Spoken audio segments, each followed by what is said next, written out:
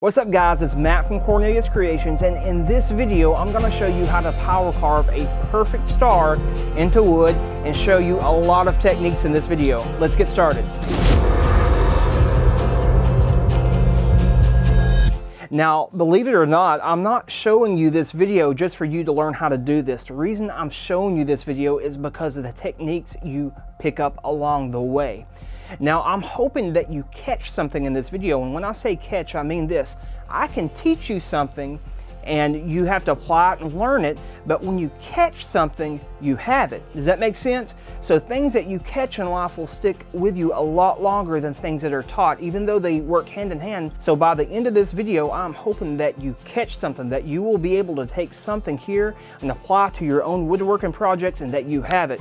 And that maybe you end up a month or a year or two years down the road with the techniques you're gonna learn in this video. So with that being said, guys, hang with me through this video and I promise you will learn something let's get started. Now to get started, we need a rotary tool with a flex shaft attachment.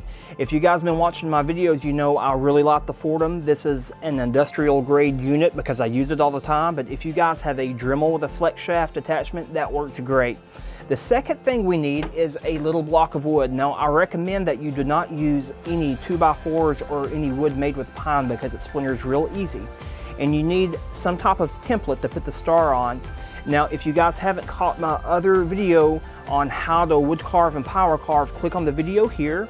And I'll also have another video of how to lay out templates using carbon transfer. So before you do this video and you haven't caught that video, be sure to watch that one because it's gonna make a lot more sense.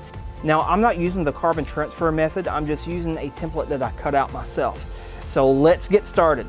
Okay, I'm essentially using two bits, which I use all the time. That is just a round carbide burr. I'm gonna use a big one, and I'm gonna use a small one. You can find these in the Dremel brand or Foredom brand. And this one actually right here is a Bushk brand I bought off of eBay that's actually 30 years old and it works excellent. so you can find these everywhere if you look hard. The third one I'm gonna be using is a cone shaped burr right here and this is to do some of the background texture and roughen out. So these are the three essential burrs that you need. Even if you're new to power carving, I recommend picking these up right here. All these can be picked up on Amazon. Okay, now we get to trace out the star right here. If you haven't caught my video on carbon transfers, be sure to do so. This is just a different way of doing it.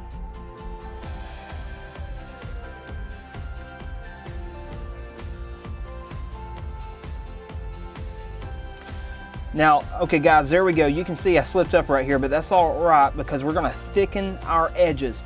Now, one thing you guys always wanna do is always thicken your edges because if you don't, what if I got this tool right in here and I accidentally slipped over here? I wouldn't leave a lot of room to mess up.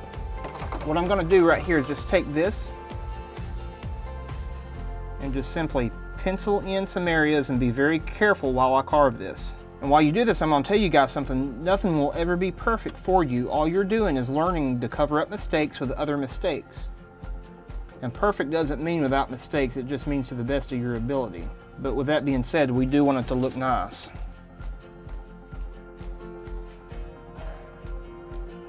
Okay guys, there we go.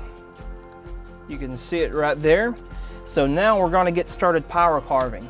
Now one thing to watch out for guys when you do this, when you go down right here, when you get to the corner, this kind of fits, but we don't want to do that because it will round out that corner. We want the edges of the star to be nice and crisp right here. So we're gonna switch to our smaller burr. So when we go down right here, we're gonna stop right about there and then pick up right here.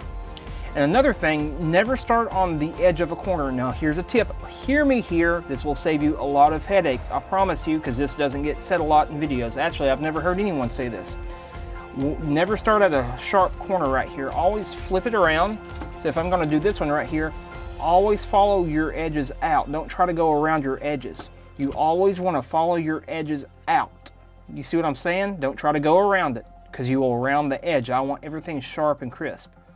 You just wanna go, keep on going right there. So when you meet your edges, always keep on going straight. Does that make sense? Okay, like I said, we don't wanna start at an edge, so you just go right here lightly pressing down in one direction.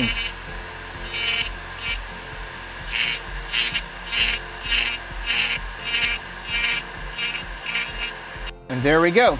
If you guys got my other tutorial, remember while you're doing this, you always want to keep it one direction and, and keep it just going one way. Don't try to go back and forth because you're going to get a lot of divots in your wood. Just keep going in one direction. And when you get ready to smooth it out, kind of go in reverse very lightly. Don't try to dig in the wood and let the um, burr do the work for you. You see right there, I just made a mistake. I got too far over, but that's all right because I have some real estate to work with. Now take everything you just learned and complete all the other sides with it.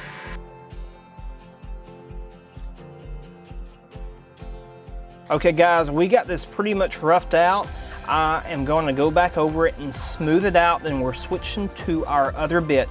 Basically, you want all the negative space to just be equal in one area. We don't want different depths. We want all the same depth. So I'm gonna have to go over here and correct some of my mistakes. Then we can get started on the other part. Okay guys, we just finished this up. It's not perfect. I'm kind of rushing this for the sake of the video. But now we want to take our small burr and just go right in between here with it, right in the corners, and get what we missed. And we want some nice crisp edges. So let's just go in right here.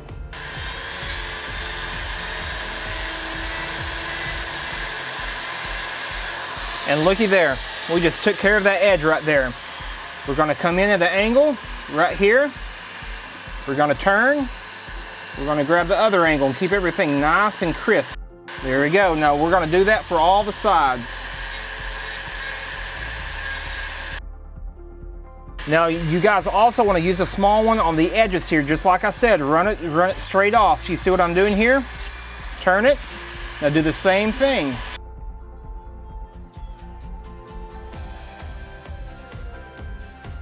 Okay, there we go. The next thing we want to do is take our cone tip burr right here and go along the sides and flatten everything out.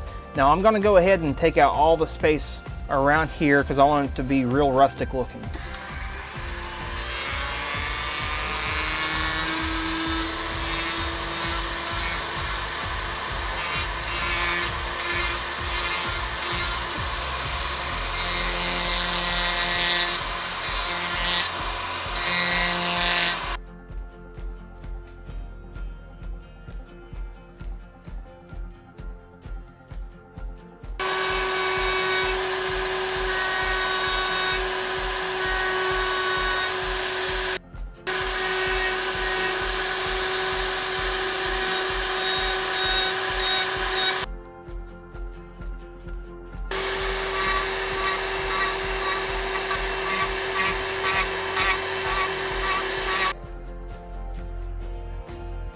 Okay, there we go guys, pretty smooth.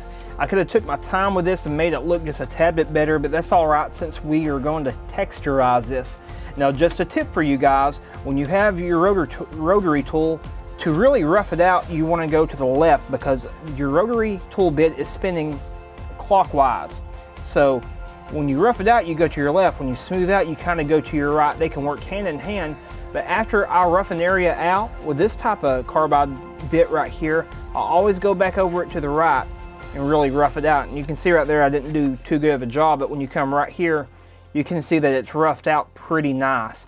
I want this to be just very even and the same height. Okay guys, before we do the texture, I want to use a piece of sandpaper. Now here is where a lot of people go wrong at. They don't use sandpaper. Sandpaper works miracles. Seriously, what we want to do is just go over the piece. Now it's going to scratch this up a little bit, but just lightly. Not this is about probably 120 grit. It's pretty rough. Okay guys, there we go. Okay, you can tell right here I made a mistake that's a little too far out. So here's what I want to do. We're going to do this for all our sides. You have to be careful when doing this. Bend your sandpaper just like this and you want to run it along the edges but not too hard. And be careful when you go in the corner not to rough it out and make it round. I want this to be a sharp looking star.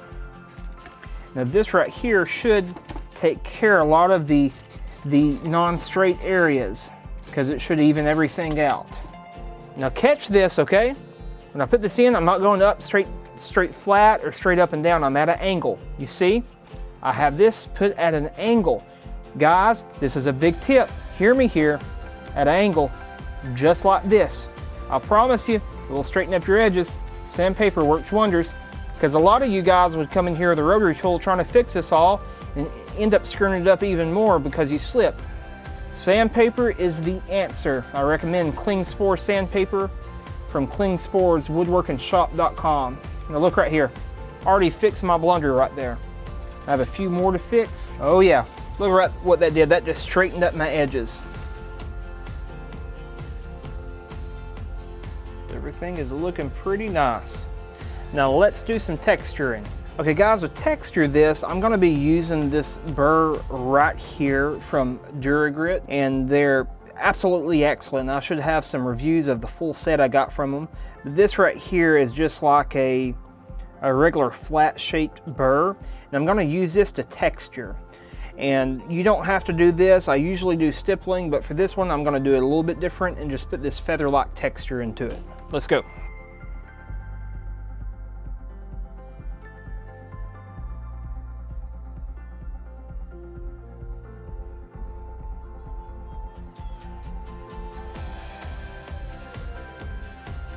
So I'm taking a small break here and letting my cameraman finish the texturing for me. He's pretty good at power carving too.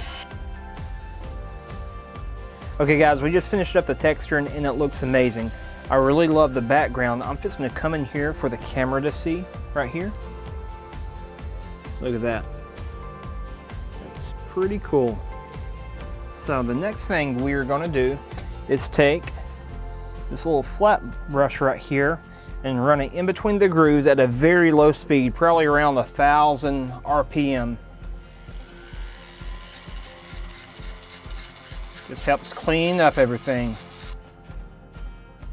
The next step is to add some stain. I'm using two different types right here, a darker and a lighter. So what we want to do is put the darker on our background to contrast the lighter up. Okay, I had to change brushes. That other one was not very good.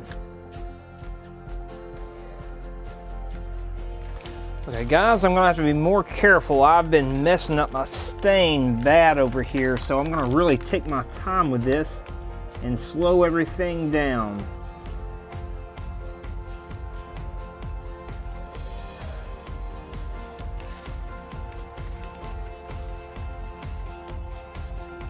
Okay, I'm putting some urethane on now.